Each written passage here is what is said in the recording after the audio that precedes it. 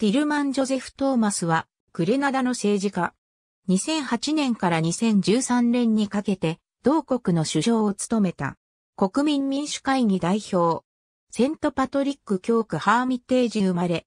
モーリス・ビショップ政権下で2年間投獄された。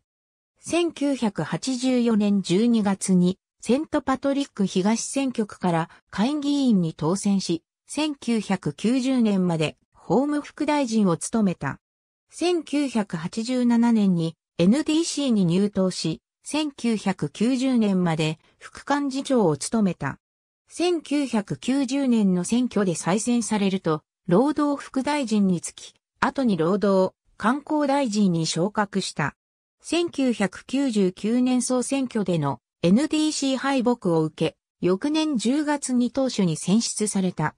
党首として臨んだ2003年11月の総選挙では新国民党に一議席差で敗れ、翌月野党のリーダーになった。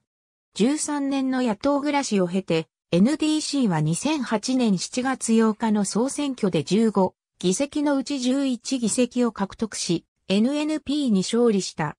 トーマス自身も自らの選挙区で再選した。勝利の翌日に、セントジョージ教区グランドアンズのグレナダ貿易センターで、ダニエル・ウィリアムズ総督に対し宣誓を行った。この中で彼はオープンで透明な政治を誓った。トーマスは17人の閣僚からなる内閣を組閣し、7月13日に国立競技場で宣誓した。トーマス自身は首相に加え法務、国防、情報、行政大臣を兼務することとなった。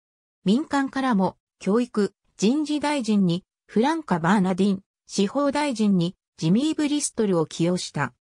5年近く政権を担当した後、2013年2月の総選挙で NDC はトーマス自身の議席を含む全15議席を失う壊滅的敗北を喫した。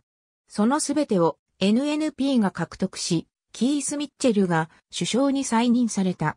ありがとうございます。